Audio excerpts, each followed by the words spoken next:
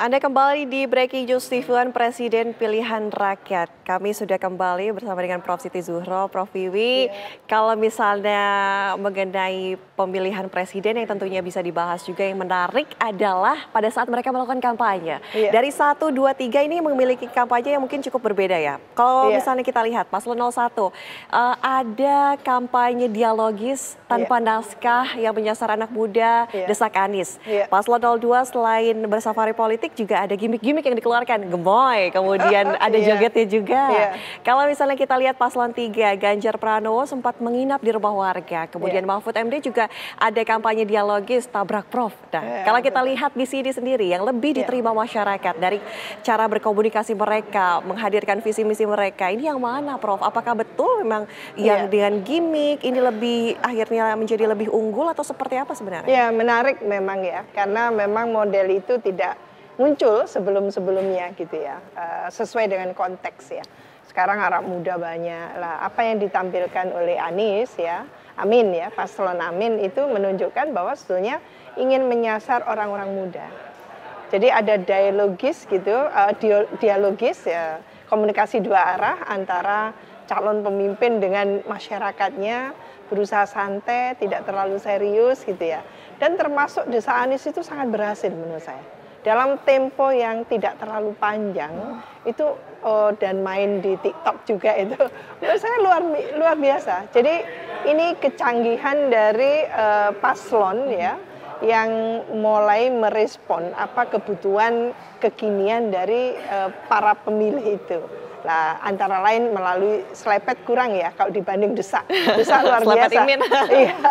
Desak Anies itu yang uh, dapat gitu ya uh, baik dengan orang uh, khususnya dengan kelas menengah ya kelas menengah mahasiswa gitu ya uh, orang-orang muda gitu tapi yang turun banget itu uh, ke masyarakat uh, yang akar rumput ini yang mungkin belum belum terasakan luas gitu ya. Okay. Meskipun kalau melihat antusiasmenya ketika Anies datang, Caimin datang itu luar biasa gitu ya.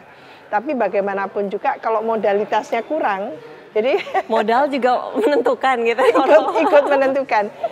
Potensinya luar biasa tapi modalitasnya kurang. Jadi uh, hadiah-hadiah nggak ada kan gitu ya.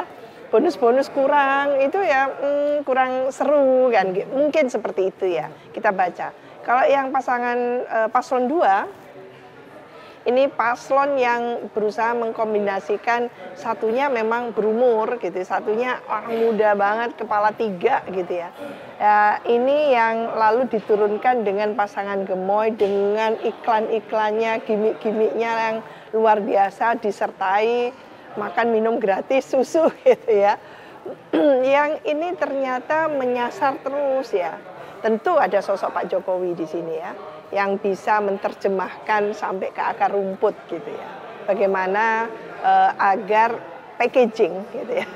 packaging kampanyenya itu bisa dirasakan oleh uh, masyarakat yang paling bawah. Karena Pak Prabowo ini kan elitis sebetulnya. Bukan orang yang bisa masuk gorong-gorong gitu kan tidak bisa gitu. Nah itu di backup oleh Pak Jokowi meskipun tidak tampil tapi hadir gitu ya. Dengan bagaimana merespon gitu kebutuhan masyarakat yang beras mahal gitu ya. Apa pun bunyinya kan gitu. Dilakukan oleh Pak Jokowi sendiri ke daerah-daerah memberikan uh, apa uh, beras yang mungkin berapa kilo dan sebagainya dan bahkan juga di depan istana meskipun itu menimbulkan kritik. Satu sisi itu mungkin tidak elok, tapi sisi yang lain untuk masyarakat oke. Okay. Nah ini yang uh, nanti uh, akan kita lihat benang merahnya ya supaya tidak terjadi lagi yang akan datang. Nah, tentu uh, ketertarikan masyarakat luas terhadap cara-cara gemoy seperti itu ternyata lumayan, lumayan. Jadi yang suka yang agak nyantai-nyantai itu senang sekali. Anak-anak milenial Gen Z itu oke, okay, oke okay, gitu. Nah, itu yang saya dengar gitu ya. Oh, seperti itu gitu kita kan tidak bisa memaksakan dari perspektif kita gitu. Yang educated yang guru yang macam-macam gitu beda gitu. Nah e, untuk yang paslon tiga menurut saya khas itu wong cilik merakyat nginep dan sebagainya. Dan terakhir itu diikuti oleh cawapresnya apa itu? Tabrak, tabrak, tabrak luar biasa itu bukan Pak Mahfud banget sebetulnya. Hmm. tapi uh, cukup menggugah lah. Untuk satu kompetisi kontestasi itu menurut saya asik gitu ya. Ada kekhasan masing-masing. Tinggal sejauh mana sebetulnya masyarakat itu uh, tertarik dengan ketiganya itu.